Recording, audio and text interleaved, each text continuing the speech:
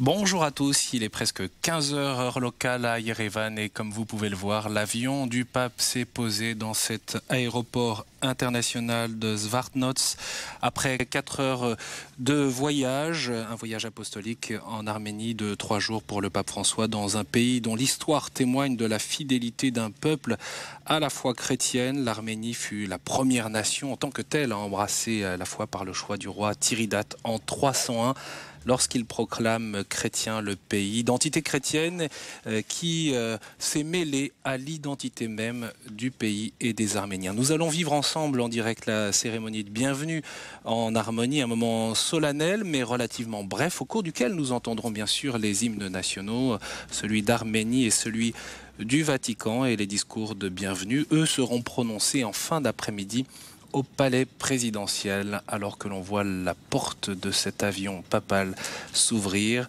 euh, et l'ensemble des euh, de la garde d'honneur mais surtout ceux qui vont accueillir le pape sont présents sur euh, le tarmac tout près de cette ce tapis rouge. Le président de la République arménienne et son épouse sont présents ainsi que d'autres responsables politiques. Et puis bien sûr le euh, patriarche suprême des euh, Arméniens, le catholicos Karekin II, qui est le chef de l'église arménienne apostolique, la principale église chrétienne qui rassemble 85% de la population. Il y a également le patriarche arménien catholique qui attend le pape François, qui donc va sortir d'un moment à l'autre de l'avion du pape.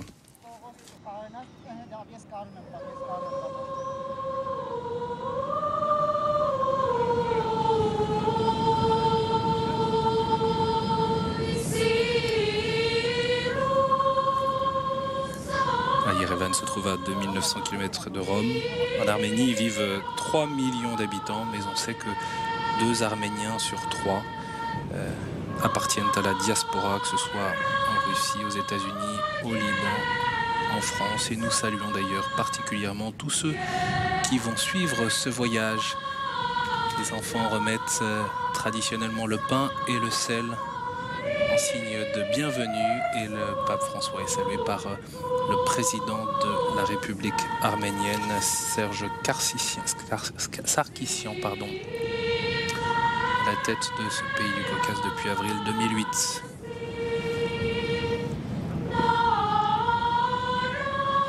Embrassade avec euh, Karekin II, le 132e patriarche suprême et catholicos de tous les Arméniens.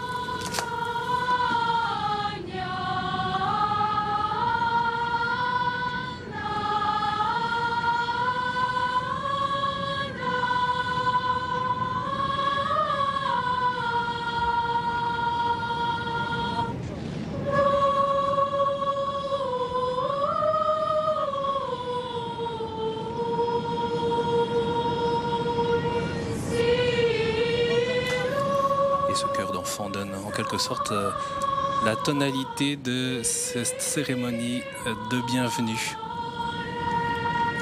Dans un instant vont être joués les hymnes nationaux.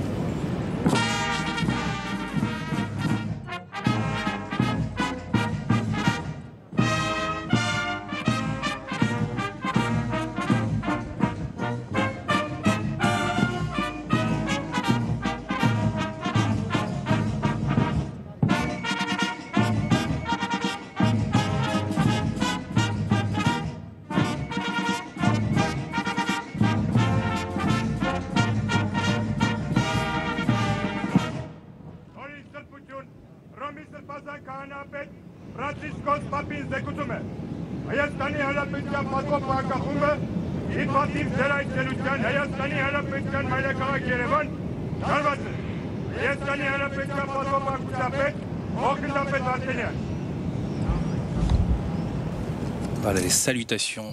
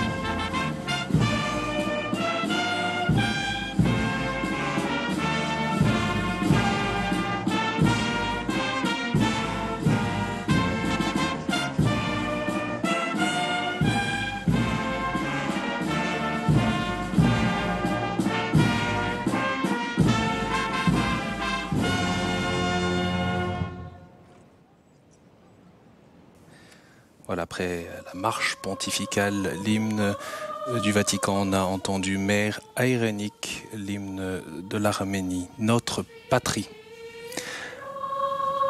Nous sommes en ligne avec euh, Philippine de Saint-Pierre, notre euh, envoyée spéciale qui était dans le vol euh, du pape François. Bonjour Philippine. Bonjour Étienne. Merci d'être avec nous. Le pape François est-il venu s'exprimer devant les, journalistes A-t-il confié d'une manière ou d'une autre ses intentions pour ce voyage? Alors la tradition avec le, pape François, c'est que d'ordinaire, il vient euh, saluer simplement les, journalistes lors du vol aller, et c'est au retour qu'il répond aux questions. Il a dérogé à cette tradition aujourd'hui en raison de l'actualité. C'est le père Lombardi qui, au nom de l'ensemble des journalistes présents, a sollicité de la part du Saint-Père la réponse sur deux questions en particulier, l'avancée du processus de paix en Colombie, d'une part, et puis d'autre part, évidemment, la décision du Royaume-Uni de quitter l'Union européenne, le Brexit. Et donc, euh, le pape François a répondu sur ces deux sujets, disant d'abord sa joie en ce qui concerne la, Colombie et demandant à ce que les pays impliqués dans ce processus le garantissent au maximum de sorte qu'il ne soit plus possible de retourner vers une situation de guerre aussi bien à l'intérieur du pays qu'à l'extérieur. Et puis, quant au Brexit, le pape a confié qu'il avait appris le résultat définitif de la consultation à bord même de l'avion en y montant ce matin, puisque, eh bien, lorsqu'il avait quitté ses appartements dans la presse du matin, ce résultat définitif n'était pas encore euh, connu. C'est la volonté du peuple qui s'est exprimée, a souligné le pape François, qui en a appelé maintenant à la responsabilité pour garantir à la fois le bien du peuple britannique et puis le bien de l'Europe et la faculté de vivre ensemble pour tout le continent.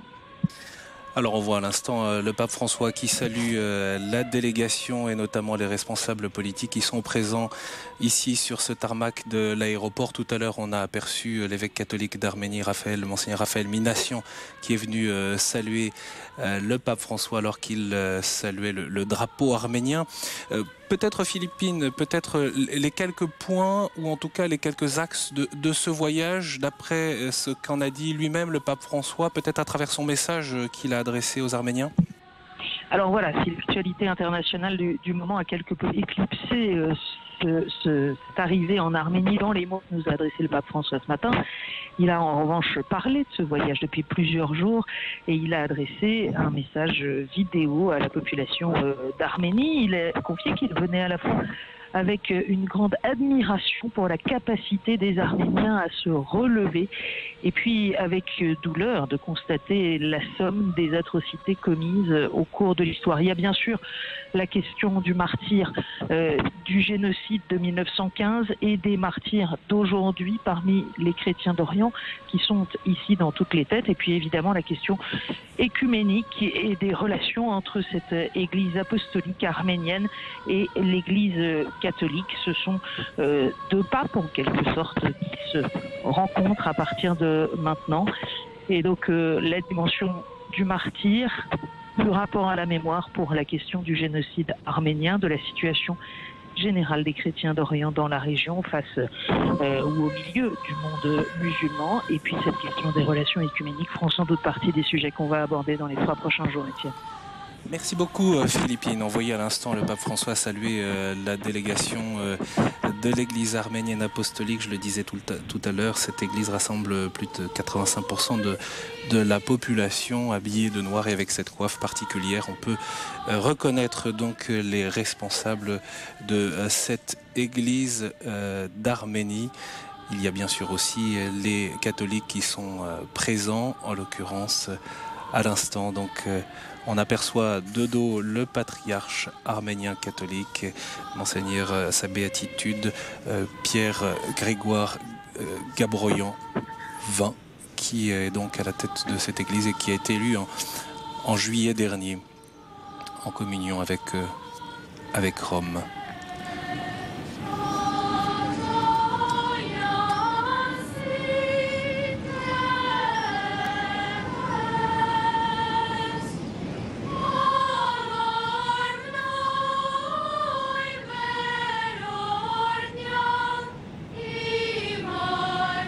Alors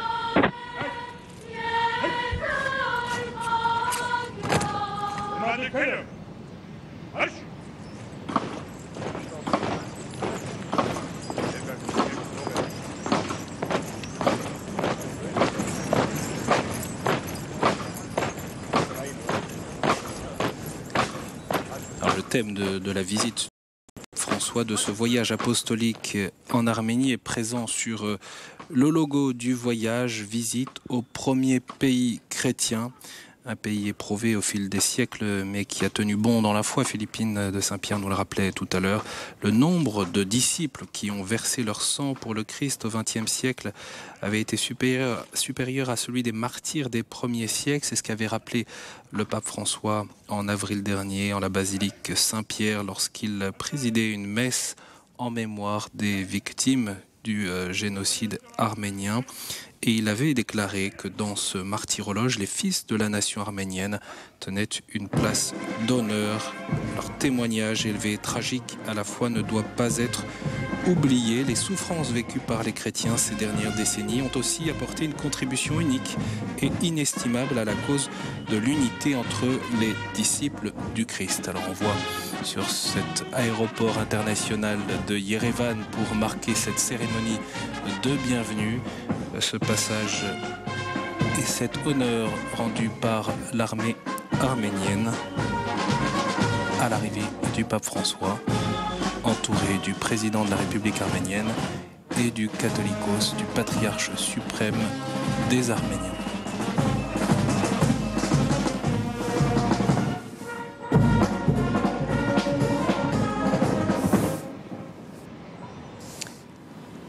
Au terme de cette arrivée, le pape François va s'entretenir brièvement avec euh, le président de la République une première fois, avant de rejoindre Echmiadzin, qui est le siège euh, du catholicos suprême des Arméniens, à une dizaine de kilomètres de là, et nous pourrons vivre en direct cette visite et la prière en la cathédrale apostolique d'Echmiadzin. Ce sera euh, normalement dans, aux alentours de 13h30.